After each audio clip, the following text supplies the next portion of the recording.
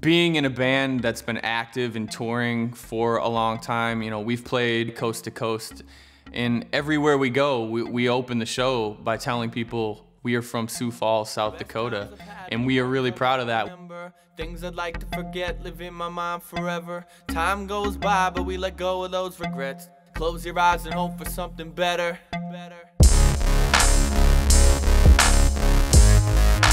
They asked me if I missed it. Didn't know my shit was gone until they asked me if I missed it. Yeah. Coming up in this city, being born out of the punk rock scene and playing rap music with my friends, we had to kind of create our own space and create our own identity because it wasn't something that existed when we were starting. Part of uh, the music scene and, and, and, playing shows here for, for a long, long time, it's really spawned a lot of different opportunities. We make music, but that has led to me being a full-time photographer, doing video work. We also run a small coffee roasting company out of this building. I really feel there's a great sense of community that rallies around anyone who's trying to push the envelope in Sioux Falls. First Fridays every month in the summer are bustling with people and artists and food. The music scene is really fantastic. A lot of touring bands come through.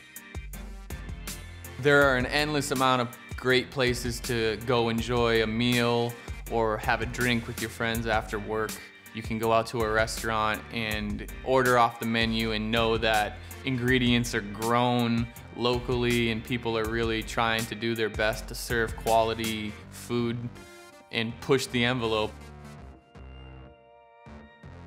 It's nice to have that work-family balance in my life. I'll spend a day working and every day at the end of the day I go pick up my daughter from school and uh, you know, whether we just go home and hang out and cook or we go out and ride the bike trails or enjoy one of our parks, um, you know, I feel like I need that balance of, of creativity and work and family.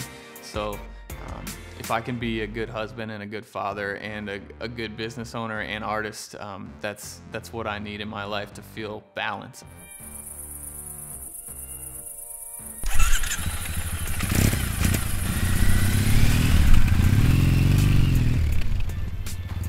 I really love having the ability to hop on my motorcycle with my camera and drive 15 minutes and be basically in the middle of nowhere surrounded by fields or a beautiful sunset or watching a storm pass and, and taking pictures and just exploring and uh, there's a real sense of adventure here for me and I, I really, really love that. This city has been an amazing support system for everything that I've done creatively. It's great to travel and go out and see the world, but I'm always really happy and proud to come back to Sioux Falls.